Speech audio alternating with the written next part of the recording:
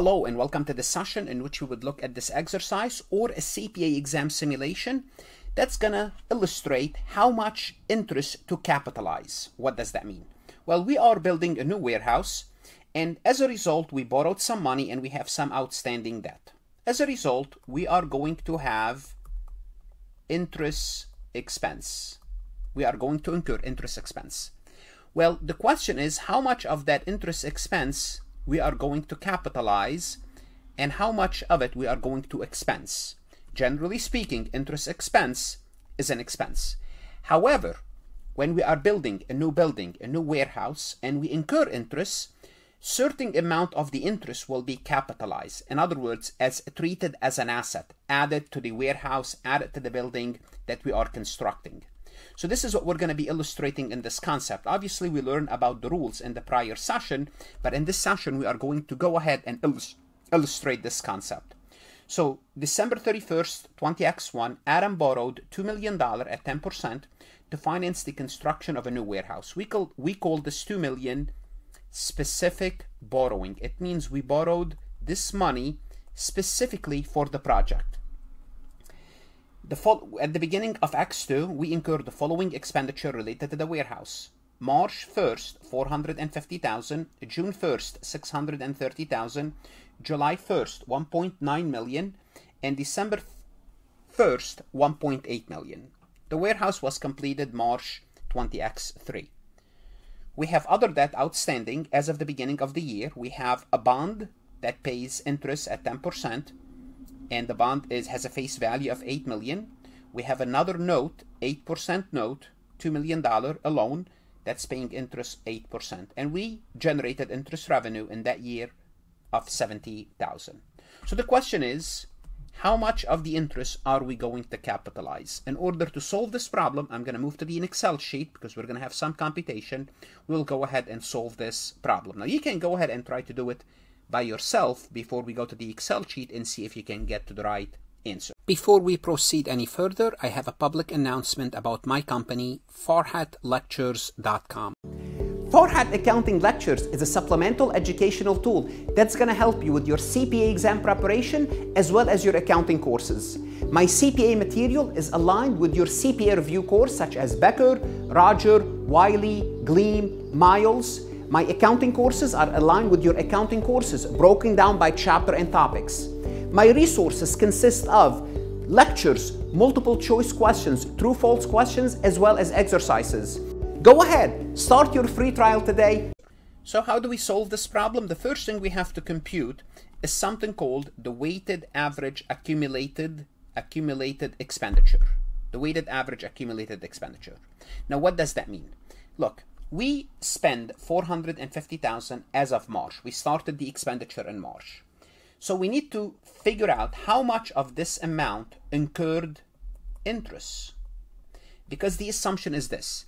If we borrow $2 million and that money is sitting in the bank, in our bank account, well, we have to pay interest on it because, you know, there's a 10% interest cost on that money. But as far as the project is concerned, that money does not generate any interest until we start to spend money on the project. So we started March 10th. March 10th of this of the amount that we have in the bank, we spent 450,000. Now, we need to compute the weighted average accumulated expenditure to figure out how much interest we need to allocate to this project, to this warehouse. This is what we do. So I have this formula here. We have the date. The date is March 1st. This is when we start to spend money on this project, March 1st. And March 1st, we spend, we spent 450,000. Capitalization period. Well, in other words, we spend this money. How much of this money, now think of it. We took the money out of the account, out of the bank account on March 1st, and we paid labor, material, overhead for this project. So this money is now incurring interest, but it's incurring interest for the project. Therefore, we have to compute our capitalization period. In other words, if this money was spent on the project, how much of that interest on this money specifically was incurred? Well, since, since we spent the money in March 1st, we have 10 out of 12 months. March, April, May, June, July, August, September, October, November, and December. That's 10, 12. In other words, 10, 12, I like to use percentages. 10, 12 is 0.833 of the year. So 833, it means 10 divided by 12. I like to use this percentage or this decimal. Now what I do, to find the weighted average accumulated expenditure, how much money did I really spend equivalent time-wise to figure out my interest on that money, and that amount is 375,000. What I did is I took the 450,000 and that 450,000 started to be spent on March 1st. Therefore, I have to figure out how much of that time was incurring interest for the for to, to compute the interest for this project. It's 375,000. Okay. Now, June 1st, and be careful, June 1st, I spent 630,000. I'm gonna do the same thing. I'm say, okay, June 1st. Let's go ahead and put the date. I spent 630,000. So June 1st, from June 1st, that's 712 of, of the year. 712 because I have all of June, July, August, September, October, November, and December. I compute the percentage. I like to compute the percentage. You're going to see why toward the end.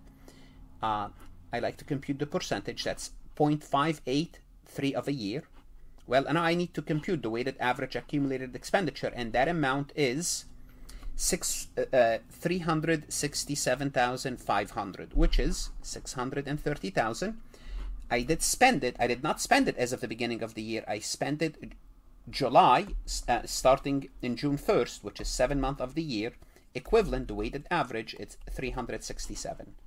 Now, July 1st, I, I also incurred 1.9 million. There's a lot of work done during the summer. Well, now this money will be prorated since I spent it half of the year. It will be prorated for 612 or 50%. 50% it will be prorated for 50%. Okay.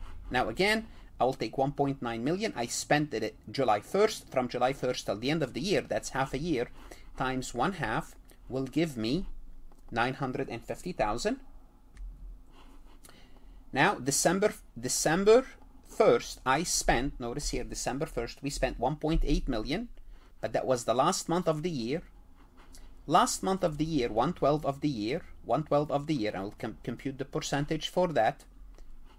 Compute the percentage, that's 0.083. Then I have to basically find the weighted average accumulated expenditure. And that amount is 150,000. Now I'm going to add them all up. Let me just put the decimal, make sure things make sense here. Okay, so I'm going to add up the weighted average accumulated expenditure. That's the total. And the total is 1,842,500. Okay, now I borrowed, remember, I borrowed $2 million specifically for this project. What I spent, the weight, my weighted average accumulated expenditure is $1,842,500. It means whatever I borrowed specifically was enough to finance, to finance my project, to finance my project. What does that mean? It means my avoidable interest, I'm going to take this amount, times 10%, which is the amount I borrowed, equal to 184,250. I call this my avoidable interest. Now, what does it mean, my avoidable interest? My avoidable interest is the interest I could have avoided if I did not undertake this project. If I did not undertake this project, I would not have to borrow the money.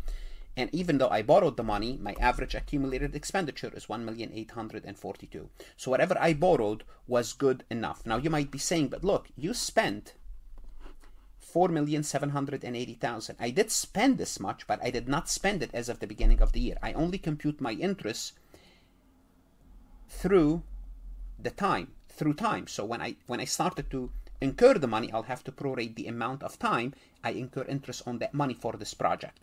Therefore, my avoidable interest is 184,250.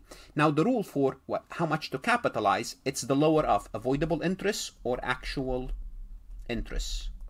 Well, we know avoidable interest will be lower because only the loan that I took out, the 2 million, it's going to have an interest of 200,000.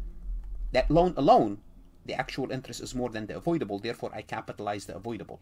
Now bear in mind when you compute your actual interest, you have to compute your the 2 million plus the 8 million plus the the other 2 million. So the actual interest incurred for this company is 1,160.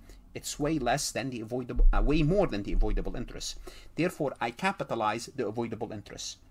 Now, what's the entry? Let's let me show you the entry.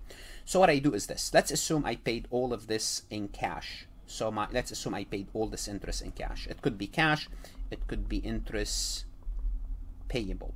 But let's assume I paid it all in cash just for simplicity. So I credit cash 1,160. This is how much cash I paid in interest. It doesn't have to be paid. It could be just incurred. I debit the warehouse 184,250 and I will debit interest expense for the difference, which I have to compute the difference now. So the difference between how much interest I incurred minus how much I am going to capitalize, and that's 975,750. So this will be the entry. In other words, I capitalized 184,250, which is I capitalized my avoidable interest, the lower of avoidable and actual interest. Okay? Now let's change the scenario a little bit because I want to make this a little bit more interesting. And rather than 450 and 630, what I incurred March and June, I'm going to change it to 900,000 and 720. So I'm going to assume this is how much money I spent. So if I do that, if I do that, my weighted average accumulated expenditure is 2,270, which is, it used to be 1,800, 1,842,000. Now it's 2,270. What does that mean? Why did I do this? I do this to show to show you. Remember, I borrowed two million. I borrowed two million, but I spent more than 2 million. What does that mean? It means now to, to compute my avoidable interest, first I used up my, I'm going to assume the first 2 million of this 2 million 270, it's from the 2 million I borrowed. Therefore, the avoidable interest part of the avoidable interest is 200,000. Now look, I spend 200 70,000 more than 2 million. That 270,000, I will have to compute it. I have to compute the interest on that. Well, what do I do now? I have to compute my weighted average interest rate, my weighted average interest rate on other debt. And that's why I have those in yellow. So I have my loan. This is the specific loan, which is I already used it up, used up the loan. Now, the remaining 270,000, I'm going to assume it's coming from those two loans. But which loan? I don't I don't care which loan. I'm going to compute the weighted average interest. How do I compute the weighted average interest? I have interest of 800 plus 160, so I have interest of 960 and I have loans total of 10 million divided by 10 million. My average interest rate is 9.6%. And this is how I computed the 9.6%, which is the interest divided by the outstanding loan. Therefore, my avoidable interest now is the 2 million, the specific loan times 10%, and the remaining money, I assume I spend it evenly from the other debt, which is which have an average interest rate of 9.6. Therefore, now my avoidable interest is 225,920. Again, my actual interest is still 1,160,000. That did not change. So now my avoidable interest is this much. Therefore, under those circumstances, my I'll have to change my I'll have to capitalize 225 920 225 920 and the difference between 1,160 and 225 920 is the interest expense that I'm going to expense. Now there's one more thing here is interest revenue. What do you do with this interest revenue? This interest revenue simply put debit cash credit interest revenue. You cannot offset your interest revenue with your interest expense based on the United States generally accepted accounting principle. So this is how you would solve an, an, interest capitalization problem on the exam. You could see this as a simulation. You could see this as a multiple choice. You could on, you could also you, you could only be only be asked to compute the weighted average. You might be asked to compute the weighted average interest on, other debt. There's many things you could be asked to do here. You could be asked to compute the actual interest. This is easy. Just compute the actual interest. which is the total interest. Or you could be asked to compute the avoidable interest, which is the avoidable interest will take a lot of computation because you need to compute the weighted average accumulated expenditure, then compute the avoidable interest. And sometimes to compute the avoidable interest, as you saw, you have to compute the weighted average interest rate as well. Interest capitalization is a topic that you need to be very familiar with, comfortable with, whether you, you face a multiple choice, a CPA exam simulation. What should you do now? Go to Farhat Lectures and look at additional resources that's going to help you understand this important topic. Good luck, study hard, and of course, stay safe.